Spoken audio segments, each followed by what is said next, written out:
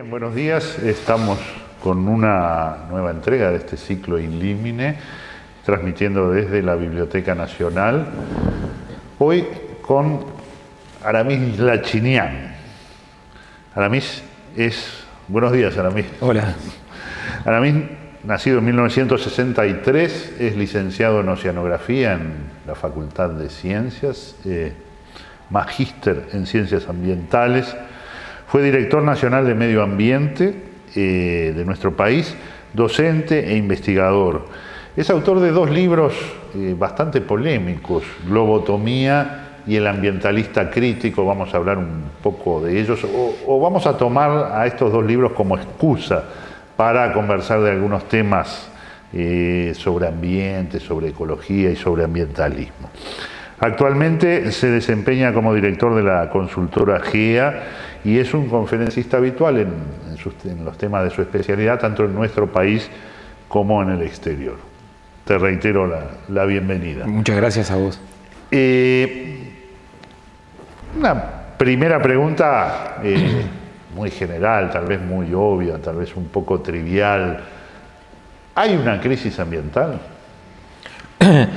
Eh, yo creo que no, creo que al menos no hay, eh, eh, digamos, datos objetivos que indiquen una situación de crisis. Hay problemas ambientales, sin duda, muy graves, hay problemas ambientales que son de origen humano, de producto de las actividades humanas, hay, problemas ambientales que son de, origen natural seguramente, pero no creo, no, no aparecen datos que eh, indica una situación de crisis. Si entendemos la crisis como un momento, como una situación de quiebre, donde o se adopta, se, toma un camino distinto o se vuelve a la situación anterior. Pero si hay una continuidad, no hay una crisis. Yo percibo que en algunos aspectos ambientales se viene mejorando, en otros se empeora, pero no hay señales de una situación de crisis ambiental.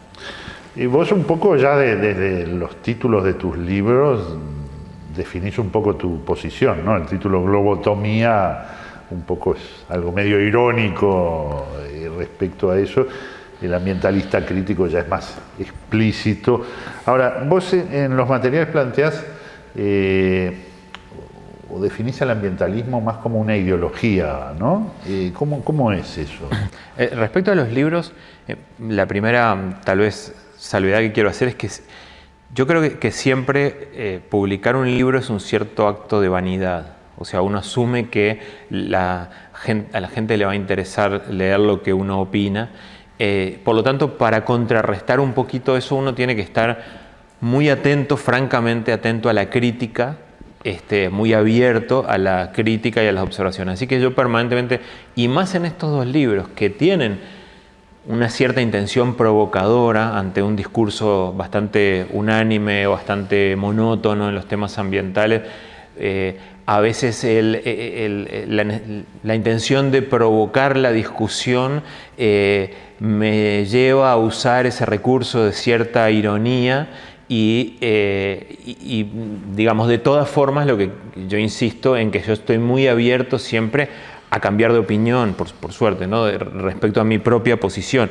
Y entre el primer libro y el segundo libro hay diferencias de opinión, hay cosas que han cambiado y, hay, por supuesto que, yo he cambiado.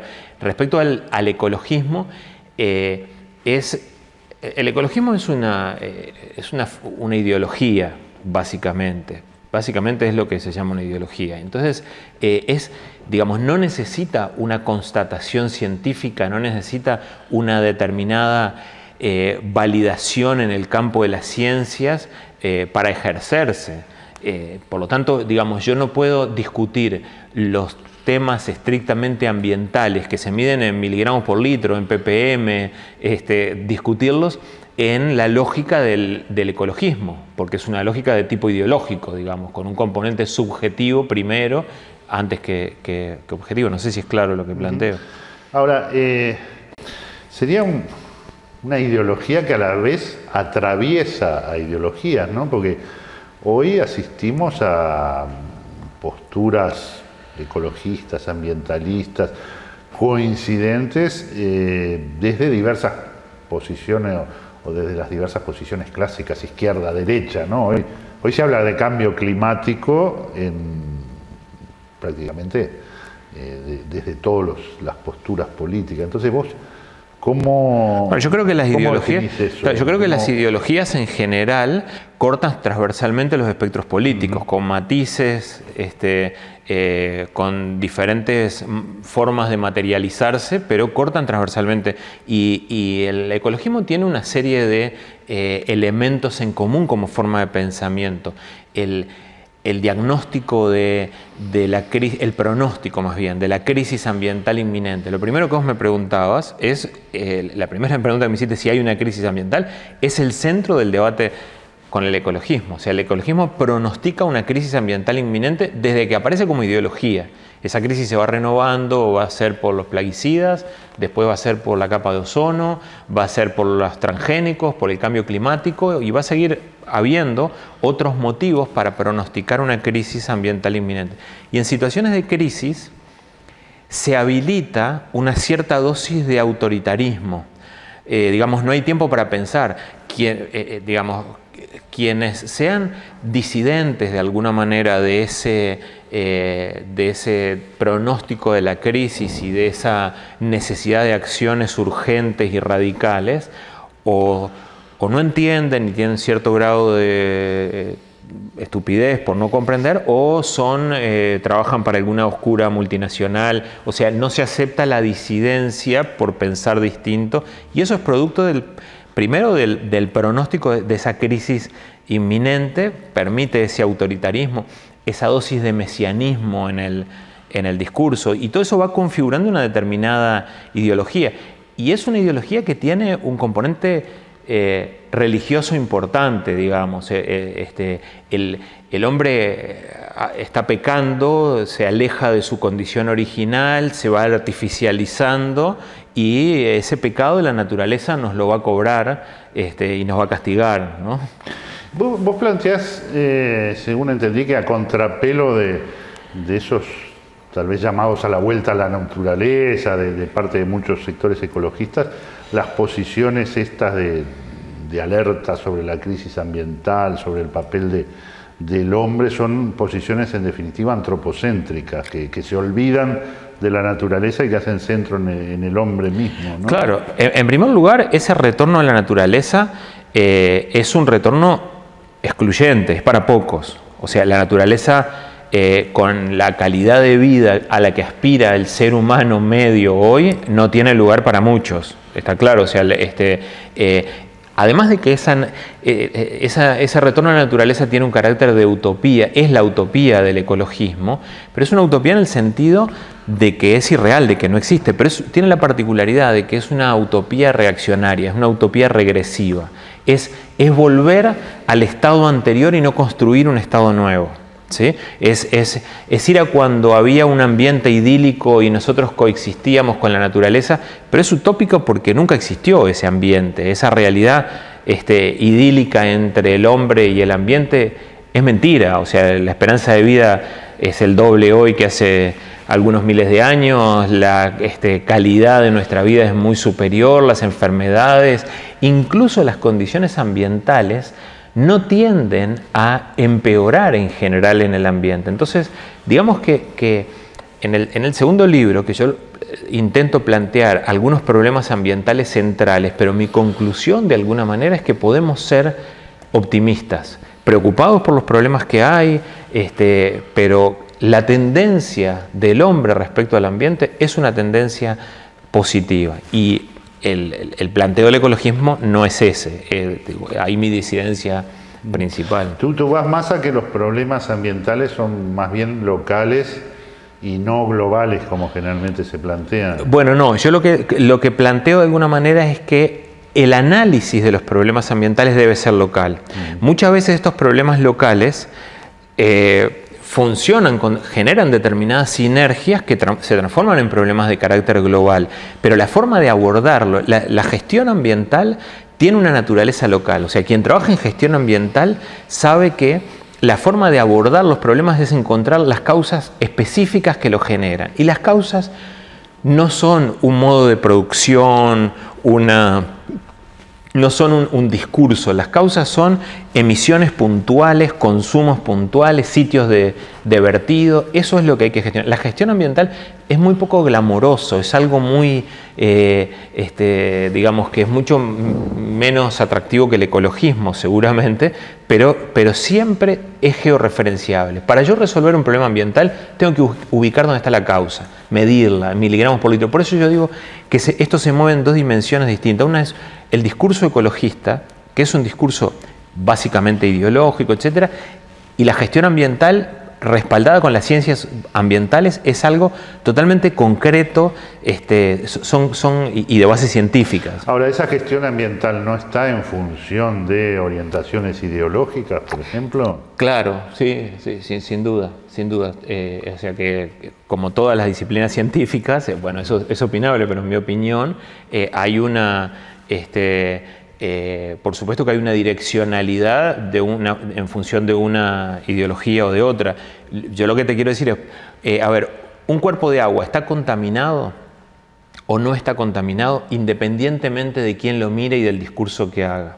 Está contaminado si supera determinados parámetros de eh, determinados estándares y las medidas para resolverlo son medidas concretas, técnicas. Es como la, gestión ambiental tiene que acercarse a la medicina, pero para el ambiente. Puede ser más preventiva, puede ser tardía, puede, discutirse por donde quieras, pero tiene que parecerse a la medicina. ¿sí? No, al, discurso, sino a, los temas objetivos. Eh, vos planteás, eh, vas un poco a, contracorriente de, muchos de los planteos eh, justamente de sectores ambientalistas, ecologistas. Vamos a tomar algunos temas en forma puntual. Calentamiento global. Sí. ¿Qué pasa? ¿Existe? ¿No existe? No, por supuesto. ¿Es eh, fruto de la acción del hombre? ¿No lo es? A ver, ¿Cómo, se mitiga si es que existe? A ver, este, desde, en el, desde el primer libro yo arranco ese capítulo aclarando las evidencias parecen contundentes respecto a que hay un proceso de cambio climático y ese cambio en esta etapa es de eh, calentamiento. Entonces, este, después yo lo único que hago es relativizar las evidencias de que ese cambio es de origen antropogénico, de que, de que es causado por el hombre. Relativizar las evidencias no quiere decir yo estoy en contra o tengo pruebas de lo contrario. Lo que digo es los datos científicos duros no muestran un origen humano y esa eh, no, es mi opinión. A ver, eh, eh, no sé, la NOAA, que es como la NASA del océano en Estados Unidos, en, hace algunos meses publica un reporte con el análisis de 100 años de los mareógrafos instalados en, en, todos los principales puertos del mundo. Los principales puertos... Los mareógrafos son... Miden la altura, para, para medir la altura del mar. Y los tipos dicen, durante 100 años, por supuesto el nivel del mar viene subiendo, en los últimos 100 años, como en los últimos miles de años, viene, subiendo, porque sube y baja, ¿no? Hay periodos interglaciares, en este momento viene subiendo. Bueno, en los últimos 100 años el nivel del mar no aumentó, o sea, no se aceleró nada respecto a la tendencia de aumento, nada, cero. Dice, la aceleración igual cero, dice el artículo, aceleración, el aumento es el mismo. Entonces, tenemos esos datos duros de la NOAA y simultáneamente dicen el evidente aumento del nivel del mar, dicen los medios, o sea, una cosa es el discurso y otra cosa son los datos científicos. Hace poco, eh, todos los años, viste que se juntan estas, estos concilios ambientales sobre el cambio climático. En el de París, la última vez, eh, uno de los temas centrales eh, fueron fue el aumento de eh, la pérdida de territorio de, las, de, archipiélagos, de islas en diferentes zonas, en el Pacífico, por el aumento del nivel del mar. Varios estudios muestran que no hay ninguna pérdida de territorio de las islas por aumento del nivel del mar. Estudios fuertes, este, con datos de campo, muestran que no hay pérdida. Entonces, yo lo que básicamente lo que digo es, ¿Hay un proceso de cambio climático? Seguramente que sí, y hay eh, eventos extremos climáticos más frecuentes, etc. ¿Hay evidencias de que eso sea causado por el hombre? Eso básicamente está en la órbita del discurso y no de las ciencias ambientales. Son dos cosas que hay que separar, Porque si no, el problema que tiene esto es que en vez de atacar el problema, en vez de atacar las causas del problema, si nosotros decimos esto es causado por el hombre, entonces tenemos que reducir eh, los, la emisión de gases de efecto invernadero como prioridad uno. Empezamos a invertir en cualquier cosa, a malgastar el dinero, que es lo que pasa en los temas ambientales. ¿no? Eh, convengamos que, que países del tercer mundo estén eh, teniendo asignaciones presupuestales importantes para reducir los gases de efecto invernadero, es una locura, ¿no? O sea, nosotros tenemos problemas ambientales en serio, de pérdida de suelos agrícolas, de erosión, de contaminación de cuerpos de agua por malas prácticas agrícolas, y, y, eso sí pone en riesgo la viabilidad económica del país. Uruguay vive del agro y va a seguir viviendo del agro por mucho tiempo. Que nosotros permitamos estos niveles de erosión, de eutroficación, por cosas perfectamente prevenibles y no en el ámbito del discurso, sino con planes de gestión específicos y simultáneamente se hagan inversiones en la reducción de los gases de efecto invernadero, que está muy bien estimado cuál es el aporte real que haríamos a la reducción de los gases de efecto invernadero si nosotros cumplimos todos los compromisos que hacemos internacionalmente y gastamos plata para hacer esos compromisos, sería absolutamente irrelevante el aporte de Uruguay a la este, reducción del cambio climático. Sin embargo, eh, tú mencionabas el, el Acuerdo de París, ¿no?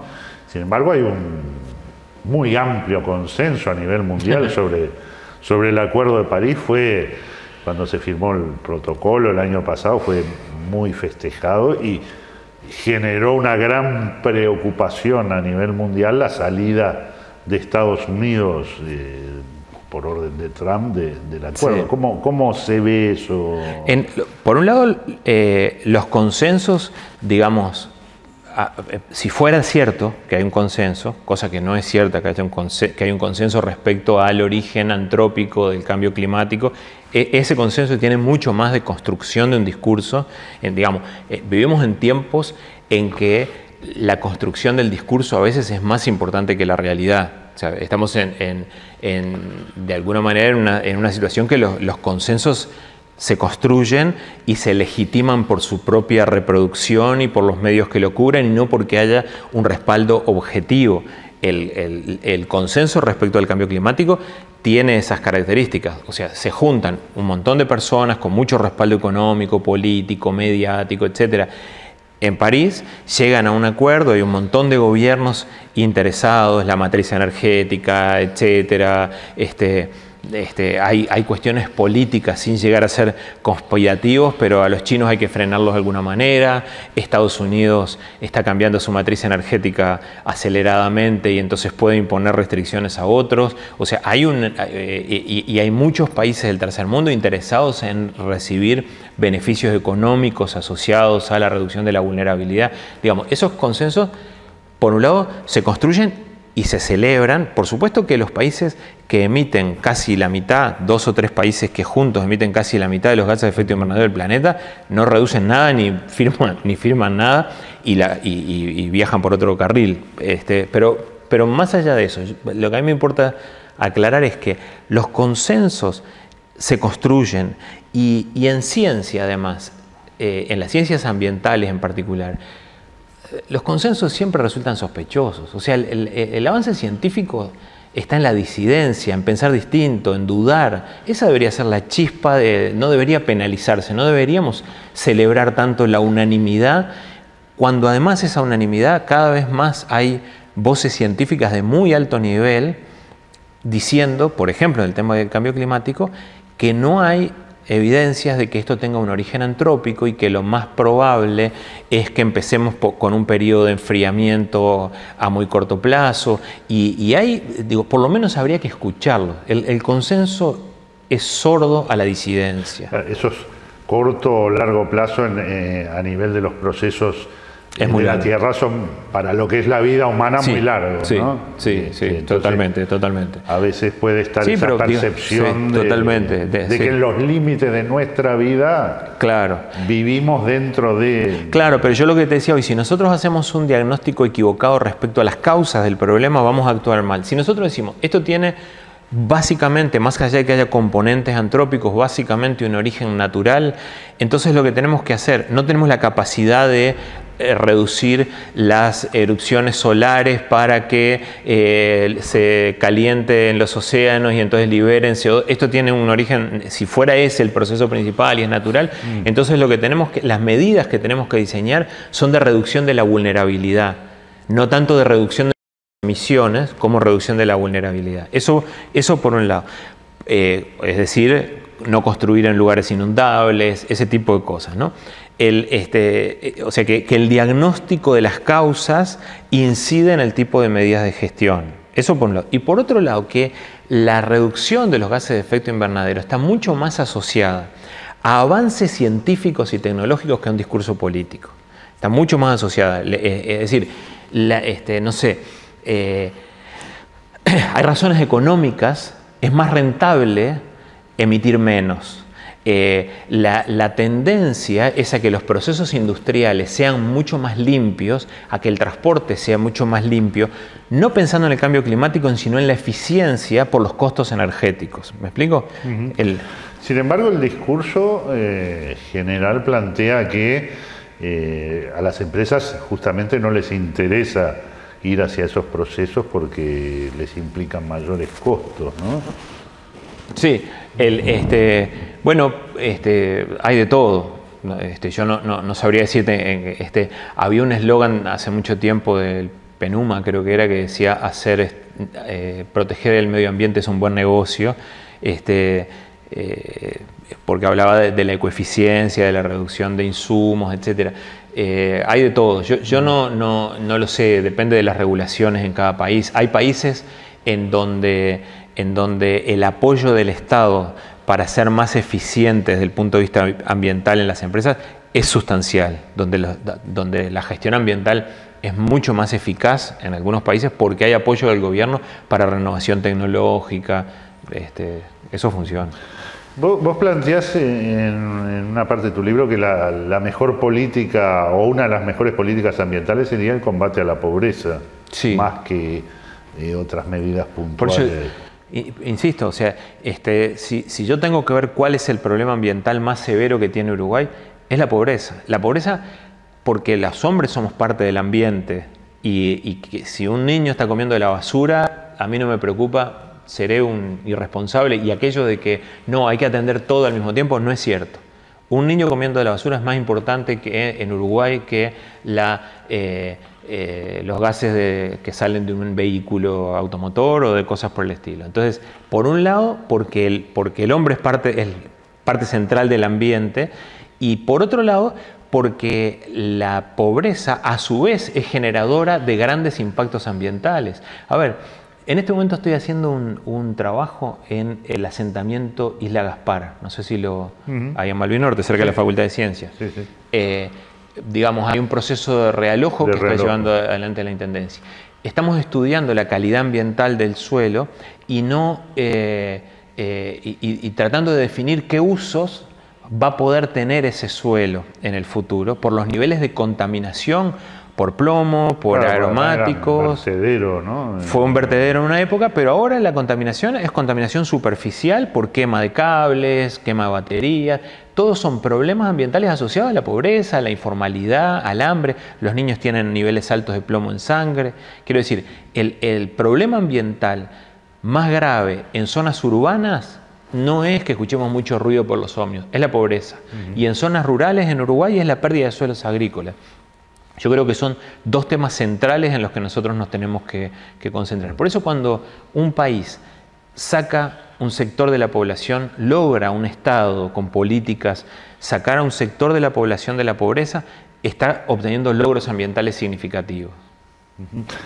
Eh, un poco te, empezaste a enfocar en, nuestro país y en Uruguay hemos tenido en los últimos años eh, discusiones sobre temas ambientales eh, fuertes sobre, algunas cuestiones, ¿no? Eh, por ejemplo, las plantas de celulosa, ¿no? Eh, y todo lo que lleva asociado, ¿no? El monocultivo, sí, monocultivo no, la contaminación por parte de las plantas, UPM, Monte del Plata, el conflicto que, hubo con Argentina. Es un, ¿Son problemas ambientales eso? y ya te dejo plantear otro, la megaminería. También generó, digo, el proyecto Aratirí por, por, por otros motivos no ambientales quedó eh, de lado, pero generó una polémica muy importante, incluso con planteos de algunos departamentos de prohibir, de prohibición de la, de megaminería. Eh, eh, empezando por el final, en general yo opino que la prohibición a veces es una necesidad, pero la prohibición es la forma menos inteligente de gestionar. ¿sí? Creo que la realidad es mucho más compleja como para prohibir. Prohibir la minería es como prohibir las grandes fábricas, sería prohibir los monocultivos. Yo puedo prohibir cualquier cosa. Además de ser insostenible, es lo menos elaborado intelectualmente como forma de toma de decisiones, la prohibición. Entonces yo prefiero gestionar, decir, esta mina sí, esta mina no, de este mineral.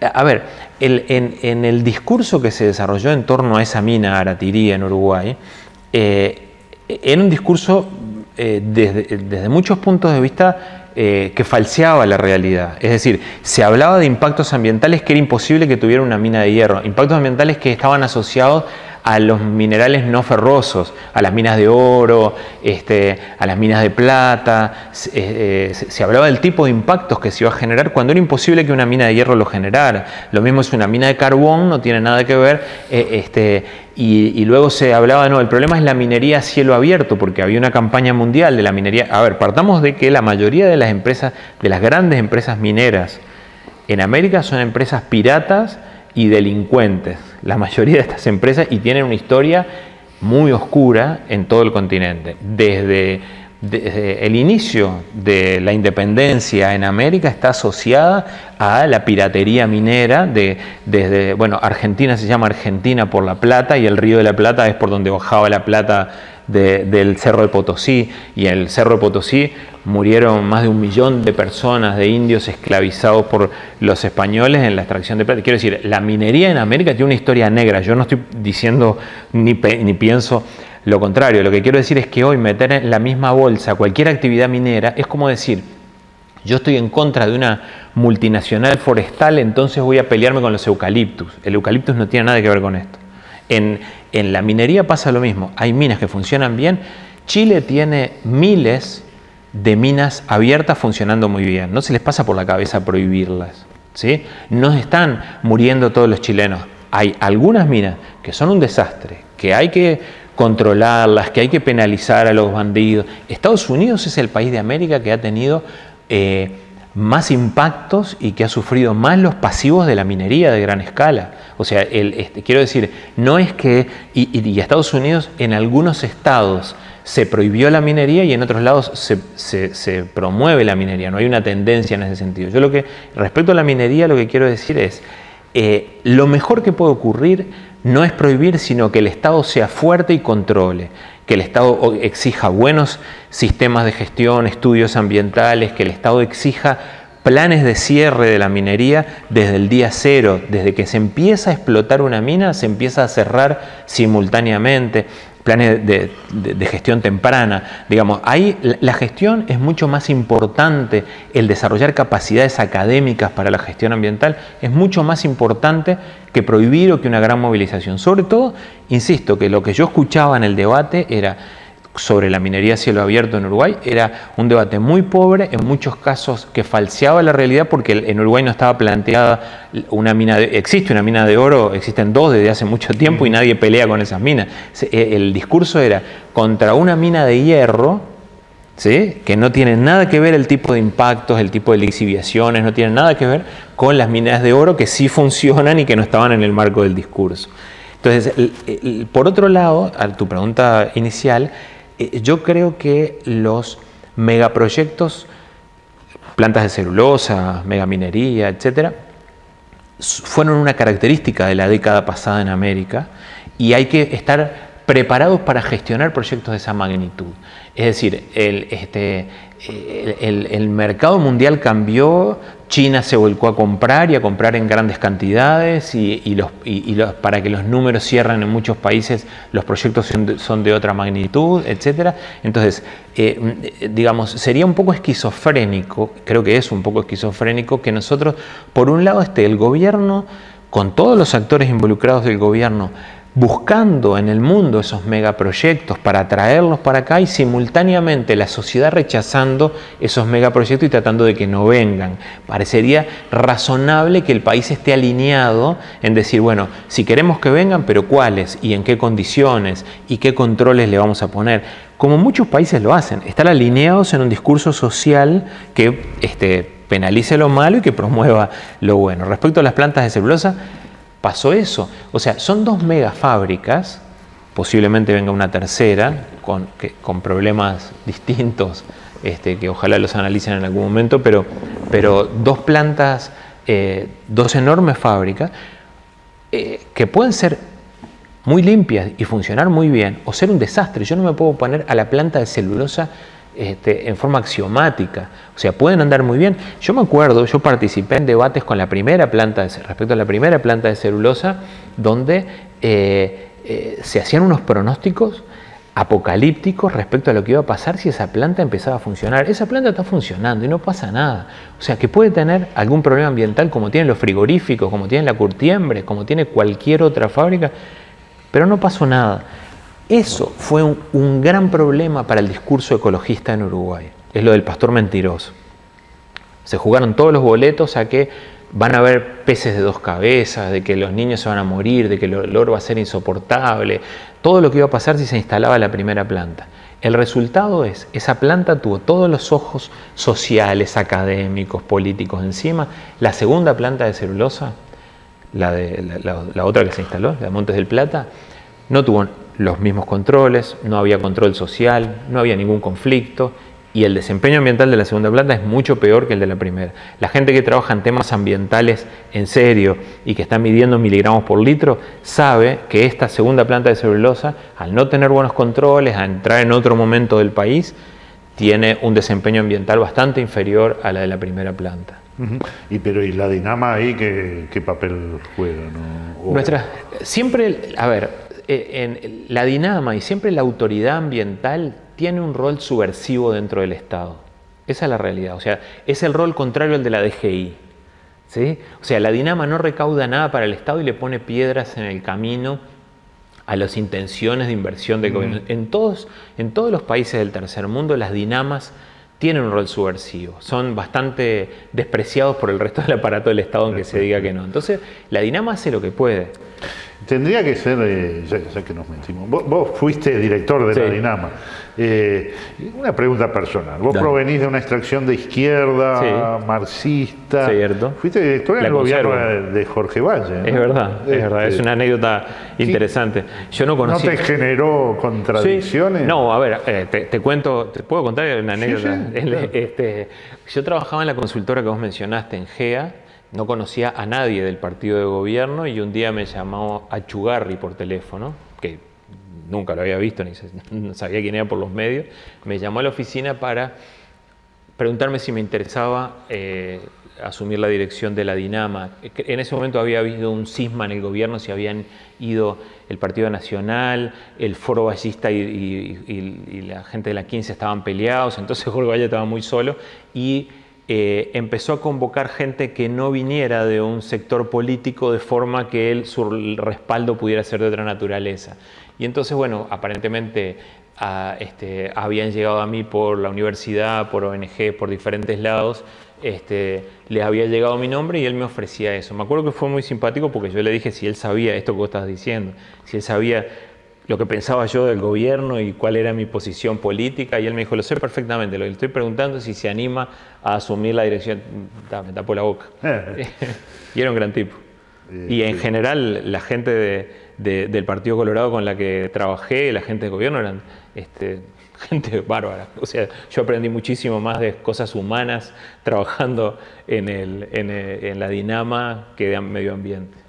Y, yendo más a una cuestión filosófica sobre las dinamas, eh, ¿tendrían que estar fuera de la órbita del Ejecutivo, ser una agencia yo creo, yo he, propuesto, yo he propuesto alguna vez y pensé que el gobierno con esta agencia asociada al, Poder Ejecutivo que creo venía por ese lado, pero no venía por ahí, eh, alguna vez planteé que deberían ser como es la EPA en Estados Unidos, este, una agencia muy independiente, con mucha capacidad de subcontratar, de manejar presupuesto, eh, un equipo chico, ejecutivo. Este, yo creo que tendría que tener esas características y tener poder real. Este, hoy al estar demasiado dependiendo de un ministerio y por lo tanto del poder ejecutivo, en muchas ocasiones los temas críticos la verdad, la verdad es que recibe presiones que a veces no logra superar. Esa es la realidad. Para ir redondeando. Qué lástima. sí, da para, para mucho esto, pero eh, tu visión es una visión optimista entonces.